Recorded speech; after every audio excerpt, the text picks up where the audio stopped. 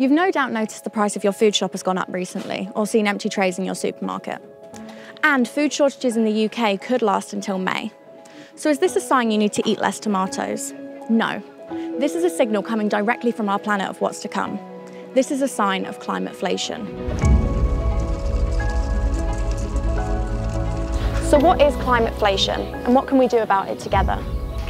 Well, climateflation is when our prices go up because of the effects of climate change. Want an example? Just look at Spain, producer of almost half the world's olive oil. Severe droughts meant it produced only half as much as normal last year, driving the price up by as much as 25%. Thank you very much. Think on that for a second. Our food prices will keep on going up because of our deadly dependence on fossil fuels.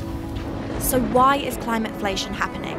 It's because right now, our whole financial system is geared towards feeding the fossil fuel system. So how do we change this? Well, we reroute our whole system to one that supports sustainable energy and jobs instead.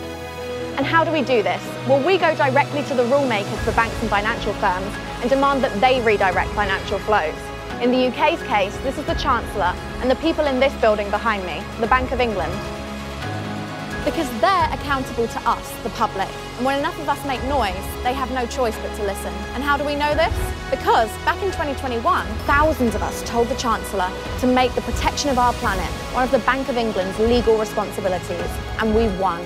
People Power made that happen. And People Power can end climateflation too. Follow the link and sign our letter to Chancellor Jeremy Hunt telling him that climateflation is real and we want him to put a stop to it. A single voice can be ignored, but when we all shout together, they have to listen. And that's how we'll end climateflation.